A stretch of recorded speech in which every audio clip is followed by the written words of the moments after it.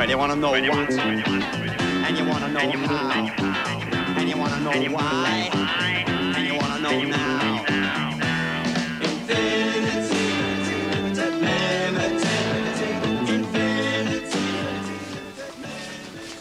Did you ever get snakes around here, Jane? Oh, yes. We keep out of each other's way. It's a beautiful spot. Perfect. And this is the problem, eh? Yes. Small cracks in a mud brick are all right. But with big cracks like that, it loses all its strength. I can't build a house out of those. What mixture did you use? Soil and water and some straw because it's supposed to help hold it together. Yeah, that's right. The problem wouldn't be in the straw. How much water did you use? Just enough so it's not too sloppy, not too stiff. Fair enough. Well, it looks like the problem's either with the soil you're using or... Or the way you're drying the bricks. Is that where you got the soil from? Yes. Okay, if we take a sample and run some tests on it? Be my guess. I need some bags. How much do you reckon that shovel weighs? Oh, about two or three kilos. Well, what's that got to do with it? Nothing. But as long as you've got the shovel, you may as well start digging.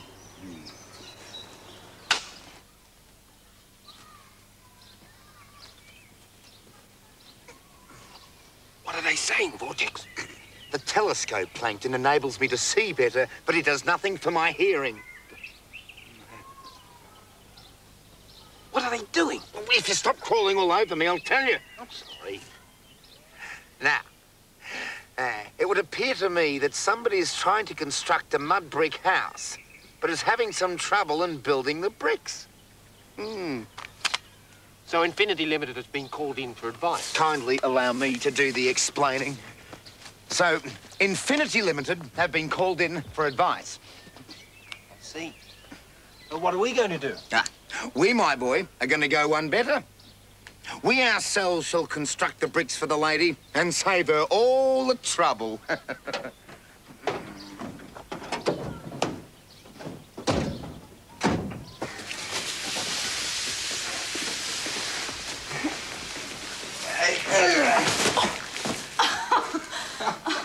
If I had any strength I'd get us a drink. Oh, I've been digging all afternoon. What do you think about this brick business, then? Well, do you agree that the cracking's caused by either something wrong in the soil or the drying process? I can't think of anything else. So, first things first, the soil.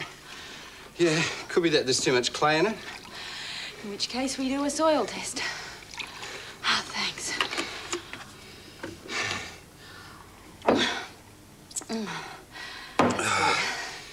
Right, let's get on with it.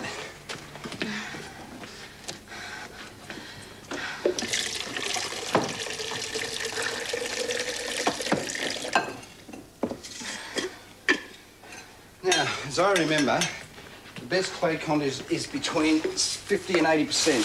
And if it's more than 80? Well, Jane can put a little bit more straw in a mixture, or she can use a little bit of sand. Do you think one sample's enough? I think so. We mix the, mix the soil up pretty well before we put it in the bags. Can I quote you on that?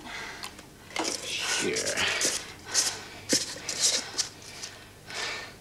La cucaracha, la cucaracha, a la cha cha cha cha cha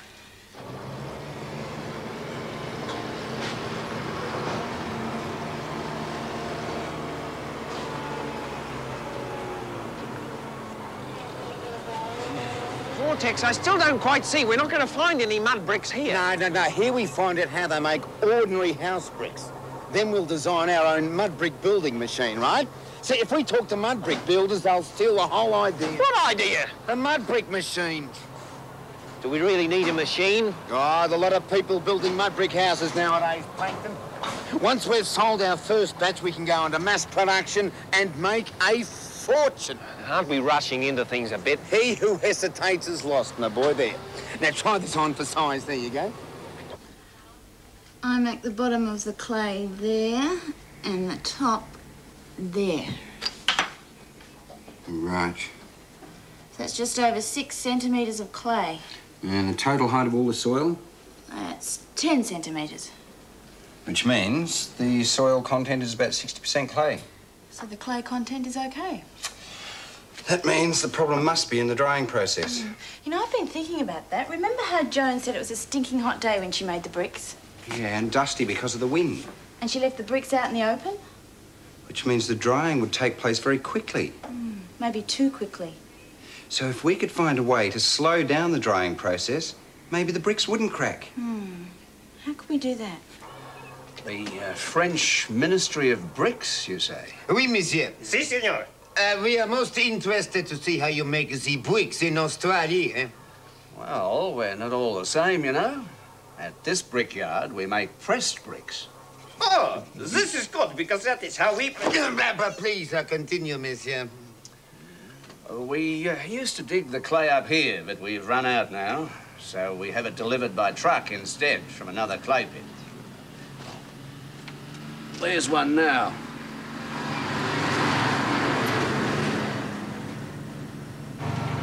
Clay is ground down to size and well mixed up before it gets to the pressing machine.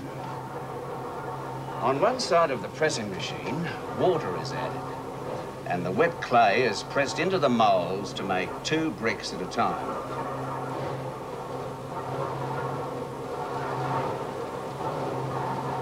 Around the other side, the bricks are pushed out of the molds. But of course. Oh, of course.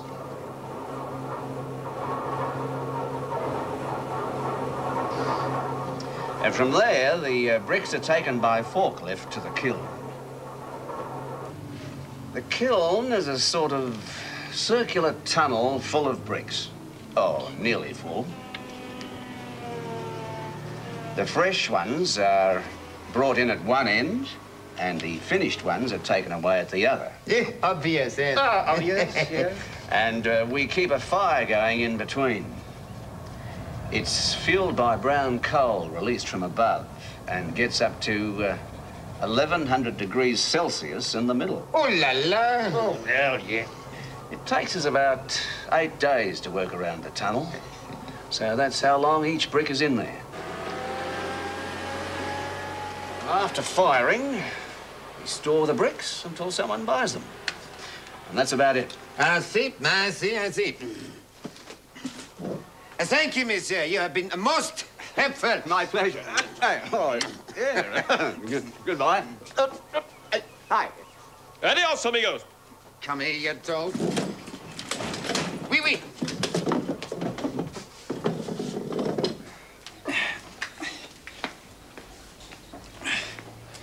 We've put three groups of bricks out here to dry. And we've used the same mixture in all of them, the one you used. We'll make it very hot with these lamps and very windy with these fans. So it's just like hot, windy weather outside. Yeah, except it's better to have artificial weather inside like this because then we can keep it the same all the time. Group one is out in the open, like you had yours, Joan. Uh-huh. Now, we've sheltered group two from the direct rays of the sun with this little roof, although it's still being blown about by the wind.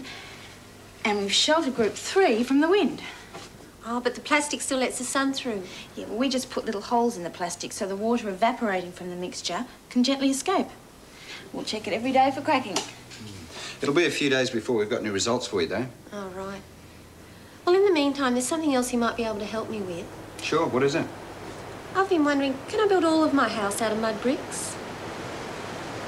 Bum, bum, bum,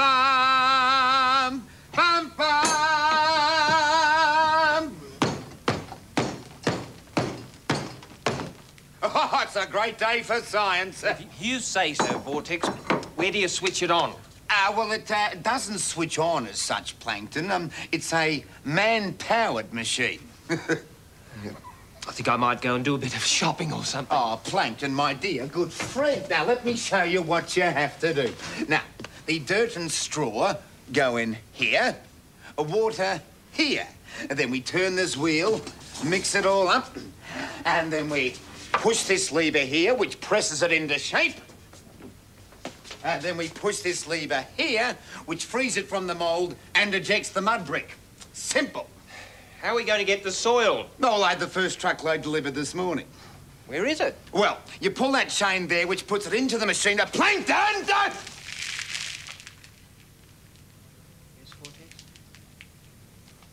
Nothing, Plankton. Nothing.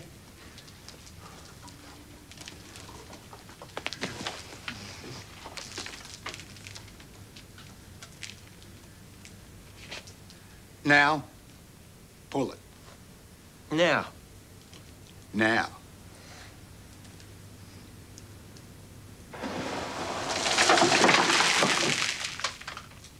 Thank you. And now the straw.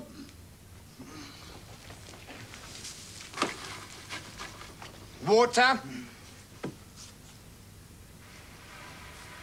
Okay, that's enough, that's enough, that's enough, right? Well, don't just stand there, man. Get on with it.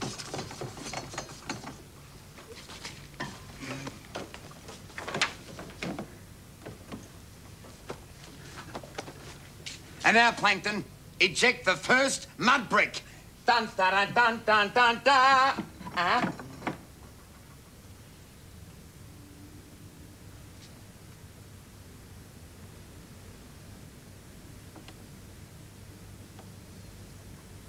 I was expecting something a little large. All right, don't panic, don't panic. Just a minor adjustment, that's all that's needed.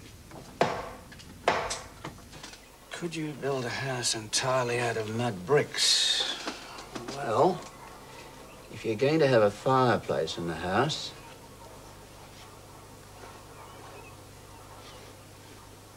you'll need fire-resistant bricks on the inside here. Or you could have a sheet of steel across the back of the firebox. Unprotected mud bricks will crumble away after a time. Anything else?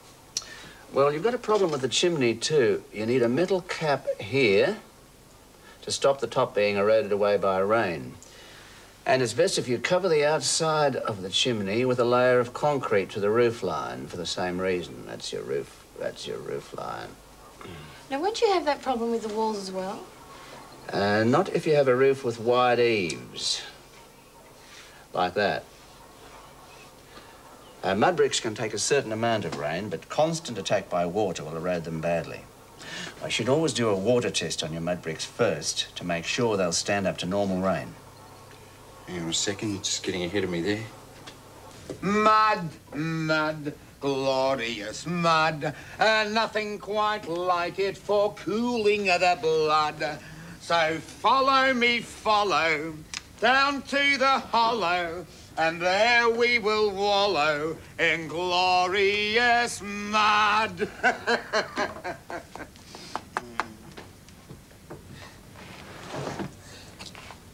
Hey, that's not bad, not bad at all. Hey, these bricks are looking terrific. Mind you, you're a bit slow, though. You're down to 17.3 an hour. Let's see if you can't get up to 20, hey? There's a good boy. Now have a banana. Oh, thanks. I might have it with my lunch. Hey, that is lunch, I'm afraid. Now, come on, make it snappy. 20 bricks an hour. Where are we going to put them to dry? On the roof, of course. Where you could really have an erosion problem with mud bricks is at the bottom of your walls. It's best to have a concrete foundation with a layer of plastic sheeting underneath it to keep the moisture out. On top of that, you should have a row or two of ordinary house bricks, that is, uh, clay-fired bricks.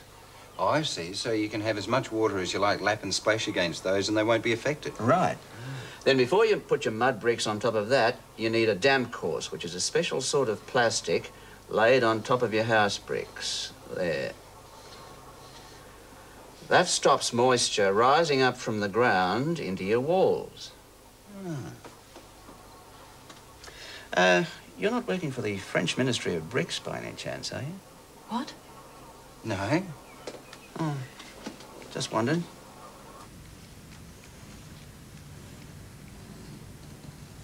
Oh, ah, the injustice of it. The iniquity. The shame. Ah, oh, haul in your sails, Plankton. I got some bad news for you. Plankton. Plankton. Here. Will you have a look at this? Most people building mud brick houses live in the outer suburbs, right? Right. So if we take into consideration the cost of carting the dirt here and then transporting the bricks to the building site, it's going to cost a small fortune. Nobody's going to buy them. Oh, yet another cruel blow that fate has struck. Ah, phooey! Merciful heavens. We're not beaten yet. Plankton! Plankton! Look here. Wattle and daub. That's what this cottage is made out of. Sticks and mud. Wattle and daub. Oh, don't you see? We can catapult wattle and daub into the 20th century by prefabricating it here and then transporting it to the building site like um, plasterboard. Plasterboard. Yeah, sheets of plaster that are ready made at a factory, except we'll do the same with sheets of mud. I'll, I'll call it, um, board. You see, it'll be lighter than mud bricks and therefore more economical. There's no doubt about it, Plankton. I am a genius. Well, I certainly want to have a fireplace, so I'll follow your advice on building the chimney and foundations. How did this all turn out? Well, it's all pretty clear, really. The bricks in Group 1 were out in the open. They developed bad cracks after the first day. Now, Group 2 was sheltered from the sun. One of those bricks is okay, but the other two developed bad cracks after... After seven days for this one and nine days for that one. Hmm. Now, it's nearly two weeks since we started the experiment. All the bricks in Group 3 are okay.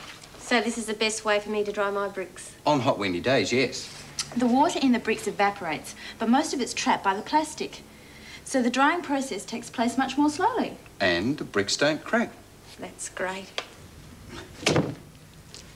Dear loyal Plankton, you must be so tired. Yes, Vortex. Yeah, well, don't stop work now, man. As soon as this lot's dry, we can deliver the first batch to the mud brick lady. You know, our little invention is going to revolutionise the building industry, Plankton. Vortboard. How does that sound? Very silly. Pardon?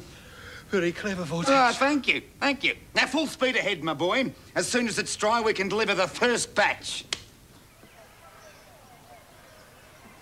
Well, Joan, don't keep us in suspense any longer. Let's have a look. Ta-da! Ah, they look terrific. Couldn't be better. A Few small cracks, but that's normal. Well, pleased? Ah, yes. I've always dreamed of building my own house, and now I know I can do it. Well, Now, don't tell me something else is wrong. We have to test their water resistance, just to be sure. We'll aim that hose full blast at the brick for about 10 minutes. Then we'll check on the degree of erosion. Better check on me, too. I might have passed out by then. all set.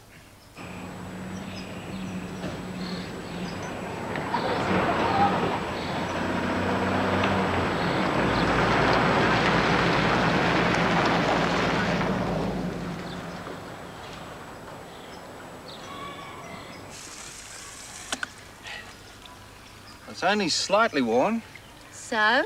so it means that the rain's not going to be a problem. As long as you use the right roof and so on. So, you can start building. Fabulous.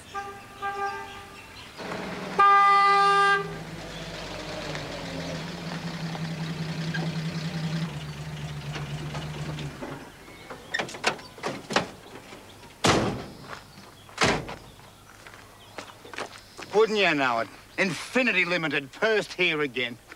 Ah, well, all is not lost. You just grab a board or two, Plankton, while I, uh, introduce myself.